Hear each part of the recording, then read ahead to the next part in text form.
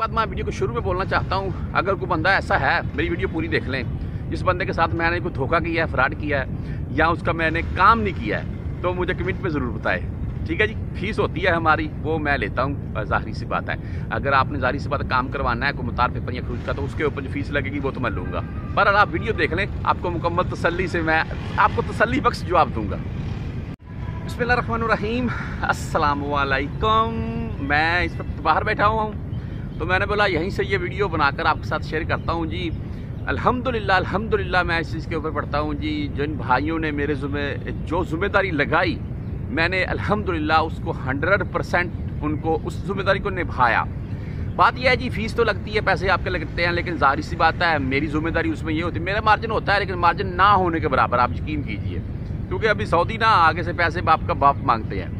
तो बहरहाल जी मैं मार्जिन तो मेरा होता है बिल्कुल ना होने के बराबर जैसे कि आपको बता दिया लेकिन ना ज़िम्मेदारी ये होती है कि अभी मैं किसी बंदे के साथ धोखा कर दूँगा ना तो ये मेरा जैसे कि आप मेरी वीडियो देख रहे हैं तो वो नीचे कमेंट करेगा या मुझे व्हाट्सअप के ऊपर बताएगा या दूसरे बंदों को मेरी वीडियो शेयर करके बताएगा ये बंदा फ्राडिया है। जैसा कि एक पाकिस्तानी हैं जी माँ जी मैं उसे बोल उनको बोल सकता हूँ उनकी तरफ़ से मुझे एक मैसेज शेयर किया गया उन, उनका मैं अभी अल्हम्दुलिल्लाह पेपर आज शाम तक इन ओके हो जाएगा ठीक है उनको भेज रखा हूँ। तो उनका भी निक, मैंने निकलवाया। तो बात यह है जी उनकी तरफ़ से मुझे मैसेज भेजा कि आप मेरे साथ कैसे फ्रॉड हुआ तीन लाख रुपए तक का बोल रहे थे वो ठीक है जी? तो अभी बात यह है जी कि मैं वो वीडियो लता से शेयर करूँगा आप खुदारा जो वीज़ा लेना वगैरह चाहते हैं कैसे बचें?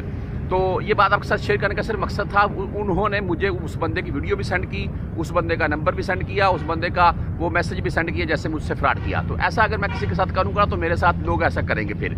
तो अल्लाह का शुक्र है जी, हम ऐसा करता भी नहीं है।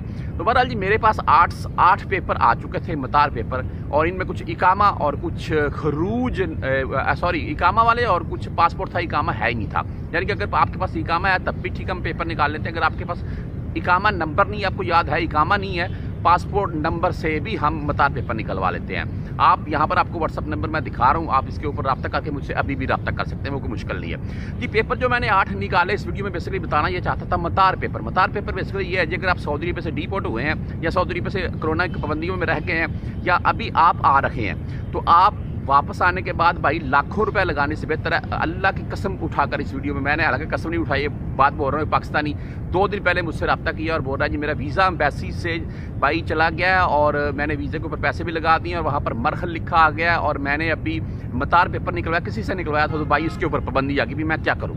तो मैंने बोला, भाई, अभी यार ये पाबंदी खत्म हो सकती है। मैंने उनको बोला, नहीं आपकी पाबंदी नहीं खत्म हो सकती है, इसके लिए मैं माजरत खुआऊँ। लेकिन आपने जिससे पेपर, इधर रख दे।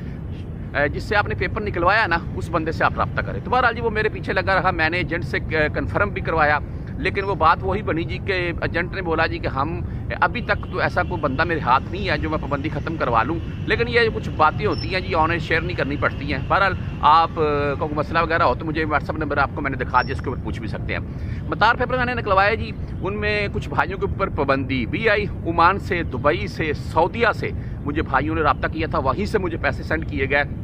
और उनके मैंने जो पेपर थे उनको वहीं पर सेंड कर दिए।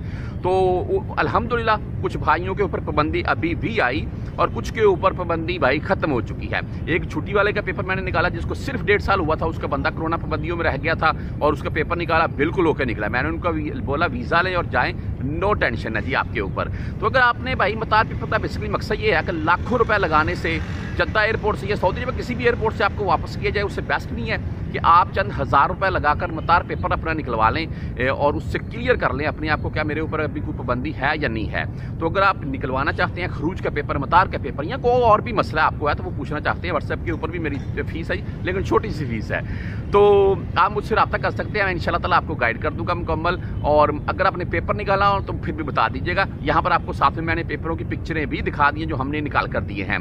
तो अगर कोई बंदा ऐसा है जी मैं वीडियो में बता, बात बता रहा हूँ जैसे कि पहले बता चुका हूँ। जिसका मैंने काम ना किया हो तो मुझे बताए।